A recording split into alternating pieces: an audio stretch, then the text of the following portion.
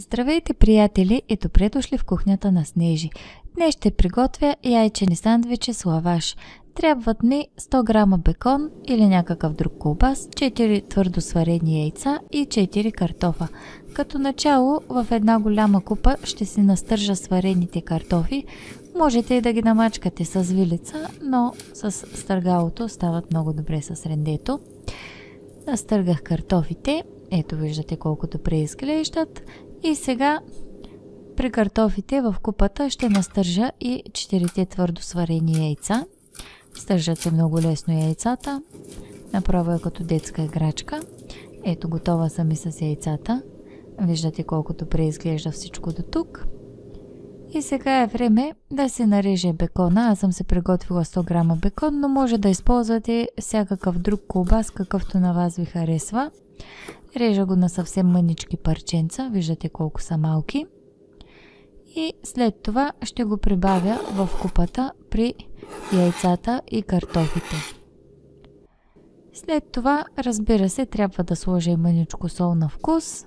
Ще добавя малко чубрица, но може да добавите всяка друга подправка, която на вас ви е любима. С чубрица стават много вкусни, но ако случайно не обичате чубрица, добавете друга подправка.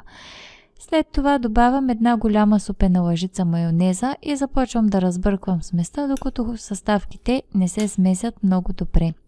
Приятели, много ми е любопитно от кой град ме гледате, можете да ми напишете коментар.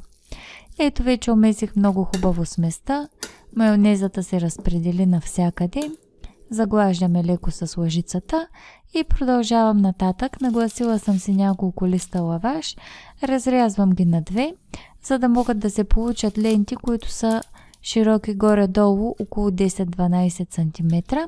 И след това вземам от плънката, слагам в единия край на лаваша, притискам хубаво с лъжицата, доколкото е възможно и започвам внимателно да завивам на триъгълник, като разбира се притискам плънката да се разпредели навсякъде по цялото, в целия триъгълник, за да има навсякъде като се хапва. Завивам крайчеца и яйчения сандвич е напълно сглобен до този момент. По същия начин правя и останалите. Завивам на триъгълник, крайчето го завивам и го залепвам. Виждате колко лесно става.